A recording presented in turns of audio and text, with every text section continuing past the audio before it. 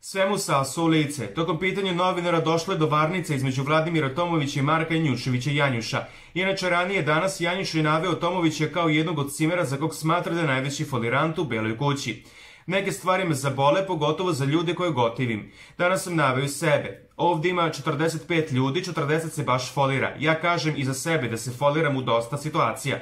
Nema potrebe da se naljutiš na nekoga ako kažeš da je folirant. On je rekao, pričat ćemo. Bilo je 300 situacija u kojima se mi foliramo, rekao je Janjuš. Moj odnos sa Janjušem je jedan od 4-5 odnosa na koji ja gledam sa nekim emocijama. Prirastao mi je srcu.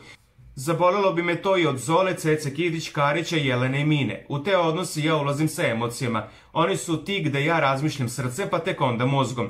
Zabolelo me je to što me on nabrojao četvrtog. Posle toga je sebe nabrojao. Naravno da mi se nije to dopalo i rekao sam da ne želim u toj situaciji da razglabam za crnim stolom, nego ćemo on i ja posle toga da popričamo. Da vidimo gde sam ja tu folirant.